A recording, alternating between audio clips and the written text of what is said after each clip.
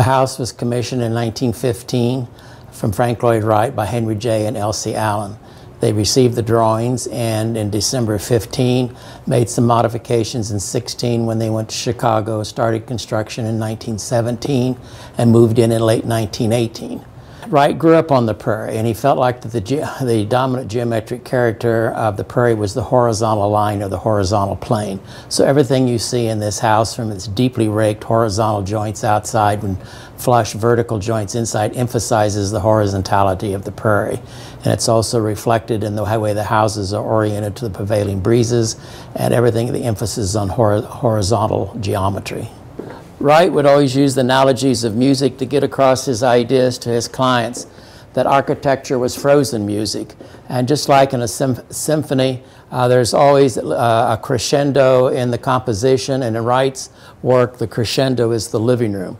It's considered by many visitors to be one of the great rooms of the 20th, 20th century, for example.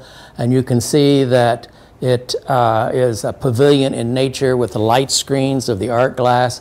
The clear glass he called crystallized frozen air, uh, and your eye goes through it, but, he, uh, but your eye can play with the visual designs of the art glass um, it's like a bookends that frames your views to nature. I mean, Wright is considered the greatest architect of the 20th century and probably one of the greatest of all times. So there is a huge following internationally. This house was published in uh, the Wendingen publication in, in Holland in 1925. We have visitors who fly over from there to experience the prairie and come to Wichita to experience the house.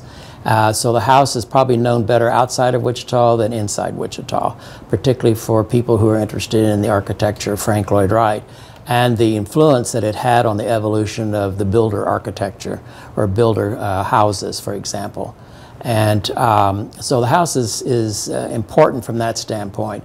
There are only about 60 um, projects of Frank Lloyd Wright's commercial and residential that are open to the public to experience. And it's important to experience Wright's architecture. You can't grasp the scale or the importance of his architecture that frames your views to nature and emphasis on living in harmony with nature, bringing the outside in, letting it flow back out, continuity of materials on inside and outside, and not superficial finishes like wallpaper and things like this that the Victorians were used to having uh, in the time frame that he was designing these houses.